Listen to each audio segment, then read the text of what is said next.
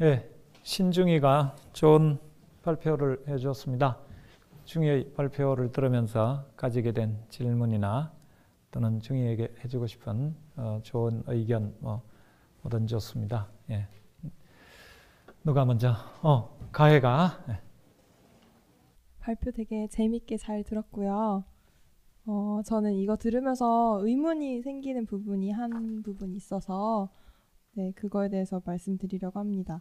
그 70년대랑 2000년대랑 비교하실 때 무엇이 같은가 해서 세 번째로 대학 진학이라는 목적으로 귀결된다라고 하셨던 부분이 있잖아요. 저는 여기서 약간 어 그런가? 라는 생각이 들었던 게 이제 저희 저도 저희 부모님 세대를 떠올려 봤는데 그때는 소위 그 지방의 그 각 지역의 이름을 단 뭐 땡땡 여상이나 땡땡 상고가 되게 뭐 되게 가기 어려운 학교, 좀 높은 학교 이렇게 여겨질 정도로 대학 진학보다는 취업을 목적으로 둔 학교에 가려는 학생들이 어, 가려고 하는 경향이 높았고 그래서 그런 학교는 소위 공부 잘하는 애들이 갈 수 있었다고 말씀을 들었어요. 저는 어렸을 때 부모님한테 그래서 대학 진학이라는 목적으로 귀결된다라고만 보기에는 또 이런 측면도 있지 않나 해서 네.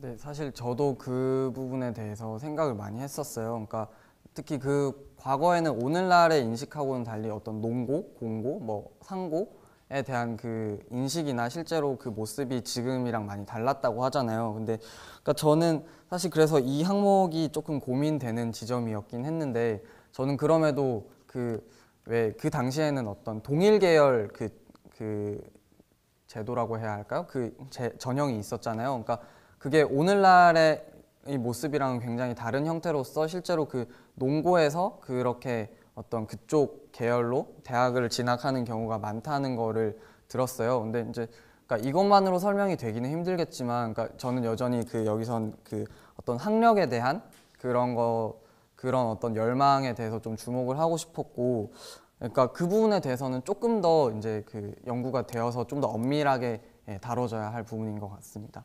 네, 감사합니다. 음, 그 우리 사회의 다원성이 1970년에 비해서 2000년에 와서 오히려 더 다원성이 약화된 거 아닌가 하는 그런 생각을 해볼 수 있고 지금 가해의 지적을 조금 저 감안해서 너무 어떤 그 하나의 해석 틀에 너무 집착하기보다는 또 다른 해석이 가능한지 좀 이렇게 찾아보면 좋겠습니다.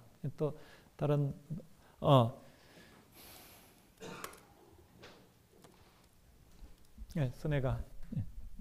저는 그 추 연구 방향 중에서 맨 마지막 항목과 관련해서 질문 드리고 싶은데요. 그 발표자분께서 이 연구를 진행하게 된 이 대상을 선정하게 된 이유가 있을 것 같거든요. 그러니까 아직 구체화되진 않았다고 해도 어, 어떤 이상적인 교육의 방향을 상정하고 있기 때문에 이 주제를 선택하셨을 거 아니에요. 그래서 그 이유에 대해서 대답해 주실 수 있을지. 어, 저는 사실 그 최초의 그 문제 제기를 여기에 아주 그 구체적으로 실진 않았었습니다. 예, 구, 그 언급하신 것처럼. 근데 그 저는 어, 굉장히 좀 경계하려고 했던 것이 이 연구가 지나치게 어떤 사회학적인 틀로만 흐르지 않기 위해서 이 부분이 굉장히 필요하다고 생각을 했었는데요. 저는 그 이게 어떤 학습 현장에서의 그 구체적인 학습 동기와 연결될 수 있는 문제가 아닐까 맨 처음에는 생각을 했었습니다. 그, 어, 그 과거와는 달리 오늘날에는 그 학생들이 좀 더 자신의 계층이나 이런 것들에 대해서 많이 인지를 하게 되고 그래서 어떤 그 그런 좌절들이 크지 않을까. 그러니까 어차피 교육 본위의 그런 교육은 잘 이루어지지 않고 있고 다들 그냥 계층 이동만 생각하는 그런 학력 학벌만 생각을 하는데 오늘날 아까 언급했듯이 제가 그런 계층 이동이 쉽게 잘 안 이루어지니까 그런 점에서도 아이들이 많은 학습 좌절을 느끼지 않을까라는 게 최초의 생각이었습니다. 근데 어, 그 부분에 대해서 아직 굉장히 조심스럽더라고요. 실제로 그런지. 그러니까 저는 제 주위에서 그런 학생을 봐서 처음에 이런 그 문제의식을 느꼈는데 또 다른 사례를 보면 아닌 경우도 있고 해서 이것에 대해서 어떻게 일반화시켜야 될지는 아직 좀 고민이 되는 지점이고요. 여전히 그럼에도 그 교육 본위의 관점에서 좀 더 구체화 시켜야 되겠다는 생각은 네, 가지고 있습니다. 네. 어, 교육을 중심으로 보는 어, 그 접근 자체는 좋은 것 같아요. 어떤 다른 시각으로도 많이 볼 수 있겠지만 교육에 좀 더 중심을 두고 비교를 해보려고 하는 건, 건 좋은데 어, 너무 또 거기에 어, 갇히기보다는 예를 들면 계층 문제만 해도 중위도 아까 잘 지적을 했지만 계층론 자체가 어, 점점 더 굉장히 이제 이 다원적으로 이 변화하고 있잖아요. 그래서 계층 속에 어, 어떤 사회 경제적인 지위뿐만 아니라 여러 가지 어떤 문화적인 어, 또는 어떻게 보면은 우리가 이 중산층이라든지 그 이렇게 이야기할 때이 소득이라든지 수입만이 아니라 그 사람들의 어떤 삶에 관한 여러 가지 태도나 이런 것까지 좀 더 다양하게 이제 포함시켜 한다는 계층론도 있기 때문에 그렇게 생각하면 이제 교육의 눈 그 자체를 조금 더 다른 것들과 유기적으로 연관시켜 가면서 보는 것도 좋지 않을까 예, 하는 생각이 드네요. 예, 또 다른 어떤 하고 예, 승진이. 예, 발표 잘 들었습니다. 근데 이제 제가 발표를 듣다 보니까 드는 생각이 지금 발표하신 내용이 이제 나타난 현상이라든지 결과에 주목하신 것 같다는 생각이 들었어요. 그래서 저는 동시에 드는 생각이 아 그렇다면 그 현상을 이제 그 현상의 원인은 무엇일까? 그러니까 다르게 말하면 여기 무엇이 다른가라고 말씀하셨는데 그렇다면 무엇이 다르게 하는가 여기에 대해서 궁금한 생, 궁금한 네 궁금했거든요. 그래서 그리고 이제 거기에 대한 답변이 아마 이제 발표자께서 이제 발표를 하심에 있어서 좀 더 심층적인 현상을 설명하는데 도움이 될 거라고 생각했어요. 그래서 이제 그 부분에 대해서 지금 혹시 생각하시고 계신 방향이 있는지 궁금합니다. 어, 어떤 방향을 말씀하신 건가요? 그러니까 좀- 개인적인 무엇이 이런 결과를 낳은지 그 원인에 대해서 한번 듣고 싶거든요. 어, 저는 그 여러 가지로 생각해 볼 수 있겠지만, 그러니까 저 제가 가장 먼저 주목했던 건 사실 어떤 고용 구조라고 생각을 했어요. 일단은 과거에는 그 어쨌거나, 그러니까 그 고용 구조가 굉장히 다양하지만 어쨌거나 그 거의 완전 고용 시대에 가까웠다고 볼 수 있는 그 70년대 상황이랑 오늘날에는 그 실업 문제가 엄청나게 대두되고 있는 현실은 근본적으로 다를 수밖에 없다고 생각을 했거든요. 근데 그 선생님께서도 언급해 주셨지만 고용 구조만으로는 설명할 수 없지 않을까라고 생각을 많이 했고요. 그래서 그 가족 그 가족 문화에 대한 그 아까 굉장히 그 조심스럽게 살짝 끼워 넣었던 그 해석이 있는데요.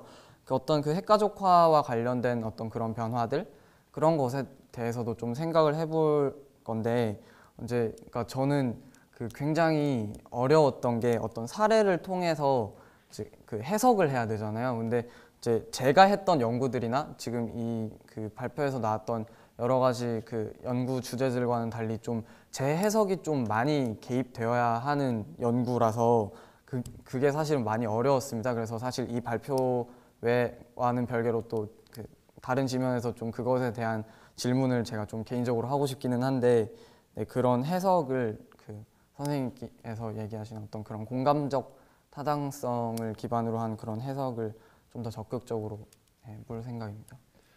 어, 예, 여러분들에게 좀이 권유하고 싶은 게 같이 좀 주목해야 될 점이 비교 연구를 할 때 우선 비교 연구를 위해서 현상을 보죠. 현상을 본다고 하는 건 이제 우리가 자료를 수집합니다. 그래서 우리가 본 현상, 그 수집한 자료 자체가 비교, 어, 음, 비교적으로 보일 수가 있죠. 그러나 그걸 우리가 어떻게 분석하는가에 따라서 또 그 분석 결과가 어떤 의미를 갖는가에 따라서 해석을 할 때또 좀 이제 비교가 또 다른 방식, 다른 차원에 들어섭니다. 또 그걸 어떻게 글쓰기를 해서 어떤 방식으로 공유를 할 것인지 이제 내 연구의 독자들과 말하자면은 연구가 진행되는 과정에서 자료를 수집하는 단계, 분석하고 해석하는 단계, 그걸 어, 공유하는 단계마다 사실은 비교의 난점, 비교 연구의 어떤 난점들이 있고 우리가 좀더 어, 방법상으로 어, 챙겨야 될 점들이 많이 있죠. 지금 중위도 그런 점들을 많이 이렇게 고심을 하고 있는 것 같은데 다들 마찬가지라고 생각합니다. 여러분들이 지금 하고 있는 어, 각자의 비교 연구에서 어, 그런 연구의 단계별로 어, 그런 어떤 이 난점이라든지 유의해야 할 점이라든지 그것들을 좀 찾아보는 것이 대단히 좋은 공부가 될 거라고 생각합니다. 예, 또 다른 질문 있습니까?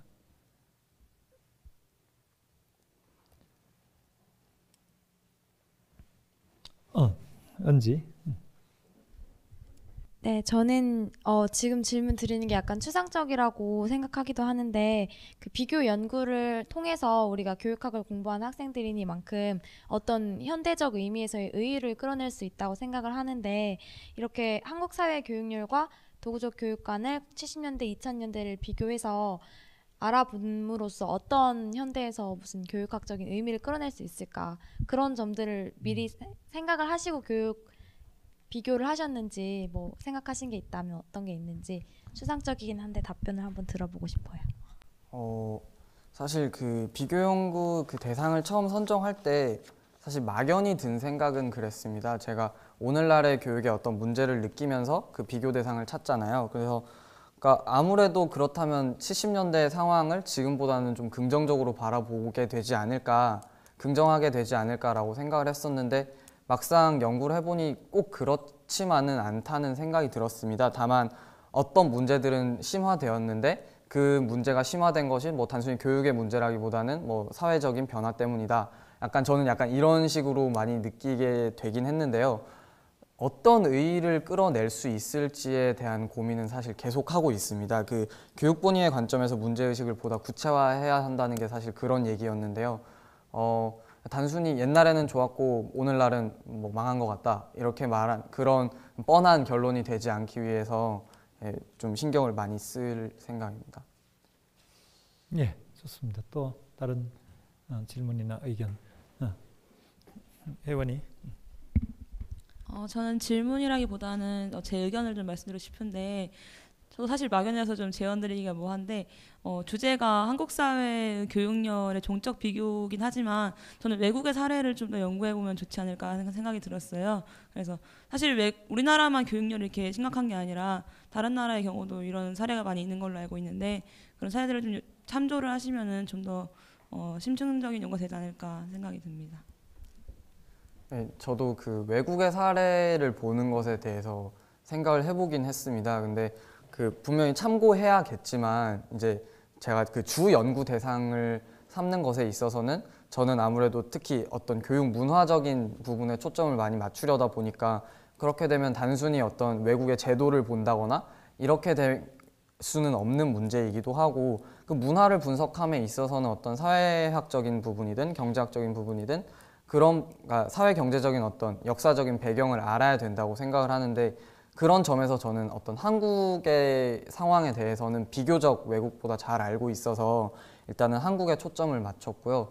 근데 점점 외국의 사례는 어떤지에 대한 네, 궁금증도 되- 굉장히 많이 들고 있습니다. 어, 이렇게 접근하면 어떨까요? 여러분들이 어, 집중적으로 이제 비교 연구를 하는 직접적인 비교를 해야겠죠. 근데 이제 그런 연구를 하면서 이 의미를 찾아내고 해석하고 하는 과정에서 이제 간접적으로 좀 이제 대조적인 사례들을 외국의 경우라든지 어, 이렇게 좀 더 많이 풍부하게 하면은 해석의 깊이가 조금 더 이제 깊어지겠죠. 그러나 여러분들이 저 한 학기라고 하는 제한된 시간 안에 너무 많은 것들을 이렇게 다루려고 하다 보면 지금 중이가 지적한 것처럼 이 그건 피상적으로 그냥 그 다룰 수밖에 없는 어, 그런 점도 있겠죠. 아무튼 그 사이에서 여러분들의 그 에너지와 여러분들이 가지고 있는 자원과 여러분들 연구의 깊이 사이에 잘 예, 조화가 돼야 될 겁니다. 혹시 다른 질문 있습니까? 어, 예영이. 앞서 은지랑 혜원이가 해준 질문이랑 관련해서 여쭤보고 싶은 게 그 한국 사회가 지금 많이 변화해서 개성이나 좀 여러 진로를 중요시 해주는 방향으로 가고 있는 것 같은데 이런 사회의 변화 속에서 혹시 아까 말씀해주신 교육 본의에서의 교육열의 사례가 나타나지 않나 궁금해서 질문드리고 싶습니다. 음, 조금 더 질문을 구체적으로 주시면 그러니까 어떤 교육 본의 교육이 나타난다는 말씀이신가요? 지금 교육열을 사회 계층의 이동으로 보시고 이게 교육 본의에서 벗어났다고 보셨잖아요. 근데 물론 지금도 그런 게 많이 나타나고는 있지만 특성화 고등학교나 뭐 마이스터 고등학교가 생기면서 과거보다는 그래도 약간은 긍정적인 방향으로 가고 있지 않을까 혹시 이런 점을 보면 아까 말씀해주신 과거엔 좋았는데 현재엔 망했다 이런 관점을 조금 보충할 수 있지 않을까 궁금해서 네. 음, 그러니까 그런 다양한 그 종류의 고등학교가 나왔다는 것이 그러니까 굉장히 흥미로운 지점인 것 같기는 해요. 근데 그 어, 좀 더 고민해 볼 지점이라고 생각을 하지만 그 여전히 어떤 그 고용 구조의 측면에 있어서 그 간단한 문제는 아닐 거라는 생각이 들었습니다. 어떤 그런 그 학교가 생긴다고 해서 반드시 그런 사회적인 수요가 있을 거라는 보장도 없는 상황에서 이렇게 좀 무분별하게 생겨난 경우도 없지 않을까라고 생각을 하는 경우도 있고요. 그러니까 그리고 여전히 어 그러니까 이, 이것이 그런 학교들을 전혀 비하하려는 의도는 아닌데 여전히 문화 자체는 그런 방향으로 가는데 거기서 이탈해야만 가하거나 혹은 이탈했을 때 가는 곳이 그런 쪽이라는 어, 실제로 그런지는 모르겠지만 인식은 굉장히 강한 것 같아요. 그러니까 그런 것과 비교해서 네, 한번 그 참고해 보도록 하겠습니다. 예, 어, 다른 많은 의견들이 있겠지만 음, 중위의 발표에 대한 우리 질의 토론은 일단 여기서 접고 어, 이따 종합 토의 시간에 좀더 예, 어, 함께 더 하기로 하겠습니다. 예, 수고했습니다.